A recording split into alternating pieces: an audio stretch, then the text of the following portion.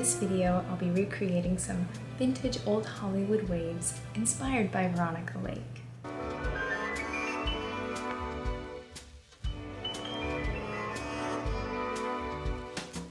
For this hairstyle, I used curlers, duckbill clips, a hairnet, some Lotta Body setting lotion, water, pomade, Moroccan oil hairspray, my Denman 7 row styling brush, and a comb.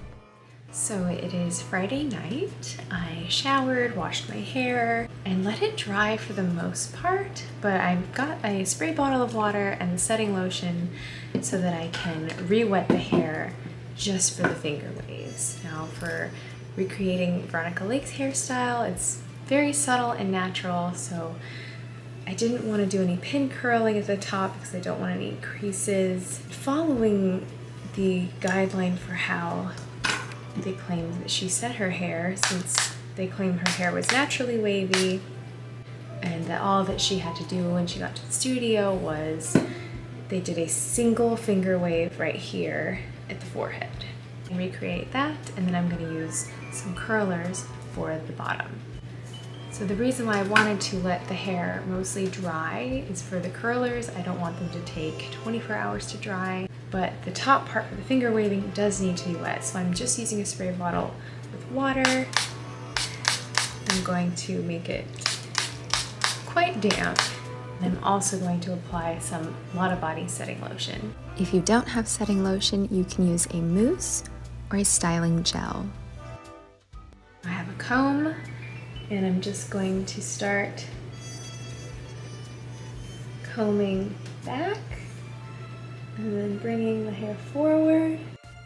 For the finger waves, you can use your hand as a base and apply clips into those grooves to hold them in place.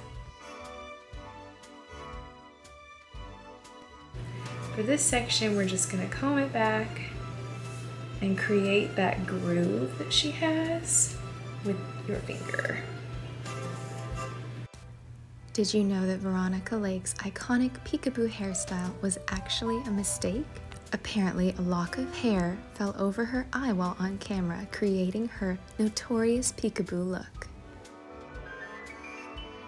And I'm not going to be finger waving around the entire head. Her waves didn't seem to really exist in the back this high up kind of was just in this bang section that I noticed most of the waving happening.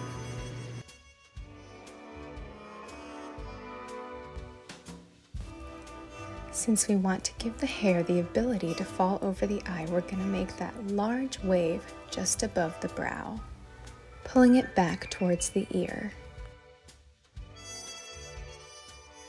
So now you can grab your curlers. You can use whatever kind of curlers you have. I'm using these pink ones from Amazon. They have a foam roller in the middle and wire on either side.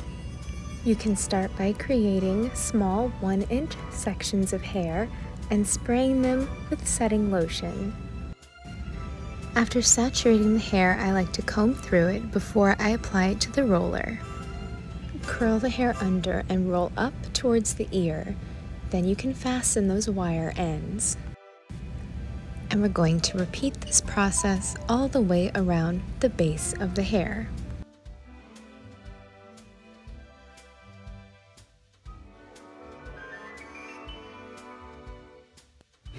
So if you notice, I have these little hairs starting to poke out. That's a bad sign. It's just I have a little bit of layering in the front, so this front section has some varying lengths. And usually the more wet the hair is, the more you're gonna prevent that from happening. And you might wanna roll a little higher and try and tuck those pieces in. And if that doesn't work, you can always try creating some smaller sections. Having the hair being most consistent in length will be helpful.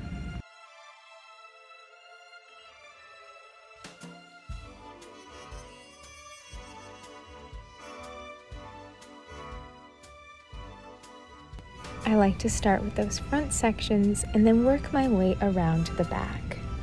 Because the style only has volume on the bottom, we're not rolling our rollers all the way up to the hairline.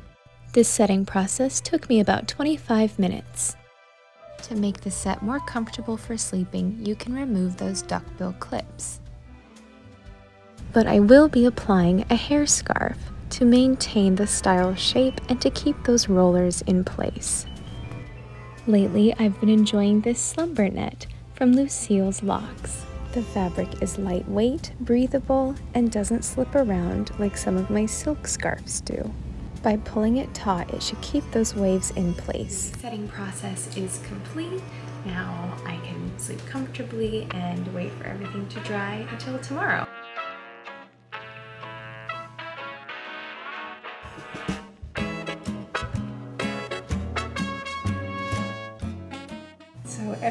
Stayed pretty well in place throughout the night. There was a little bit of droopage but for the most part, none of them fell out. And the waves have mostly stayed in place, but I am going to reform them with the comb and hold them in place with clips for the styling.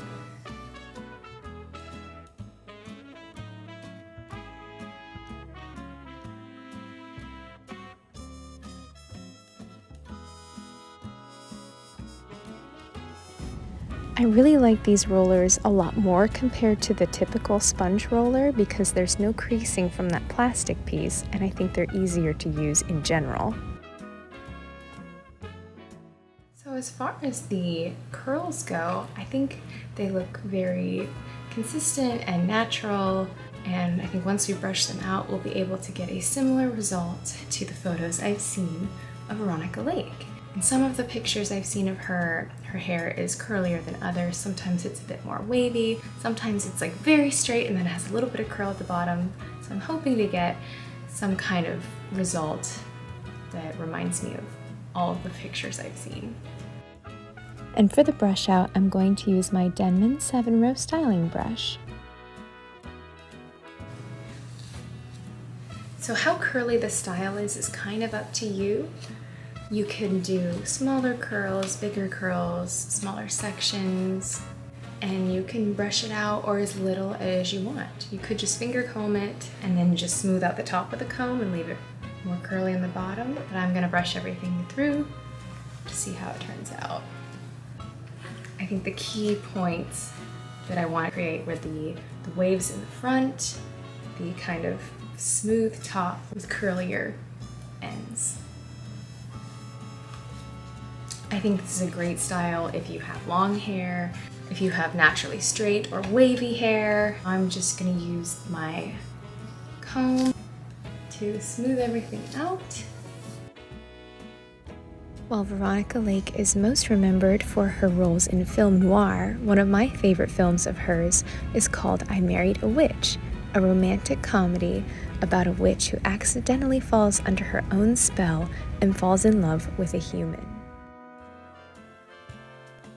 you can apply a little bit of pomade.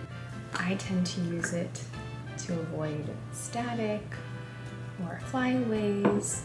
It just kind of creates a smoothness and a little bit of texture without adding too much hairspray because hairspray, hairspray is going to dull your hair.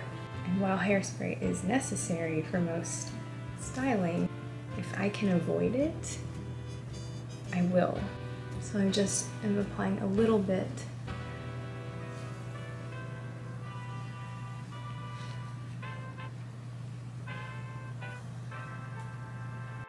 You could leave the style as is if you like it on the curlier side. But I decided to brush it out to make it as long as possible. I'm also resetting those waves with the duckbill clips.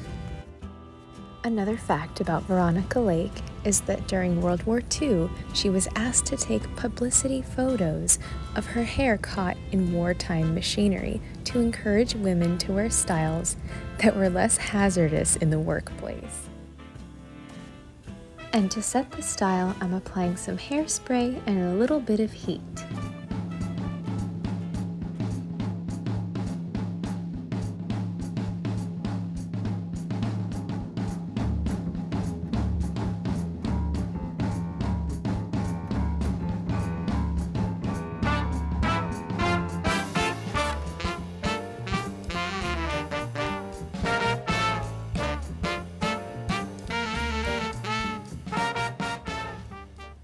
Love about this hairstyle is how simple and understated it is, but yet it's still very glamorous and reminds me of all of my favorite things of the old Hollywood glam era. If you enjoyed the video, you can give it a like. If there's another starlet style you would like to see, you can leave a comment below. And if you want to support my channel, please don't forget to subscribe.